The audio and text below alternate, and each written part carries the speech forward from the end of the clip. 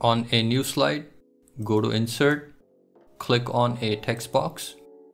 I'm going to type in split. I'm going to select a font called Roboto, but you can use any font. Let's make our text as big as possible. Let's also make this bold. Then right click on the text, click on format shape, click on text options, click on gradient fill under text fill. Delete all these extra pins. We just need two pins.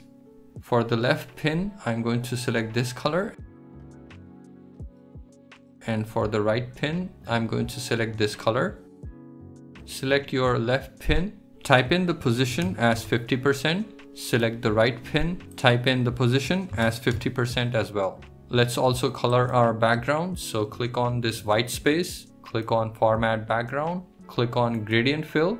Now our gradient is already applied. We just need to flip it. So this dark blue is at the bottom and yellow is at the top. To do that, change the angle from 90 degrees to 270 degrees, then rearrange our text. And that's how you create a split color effect. Subscribe for more.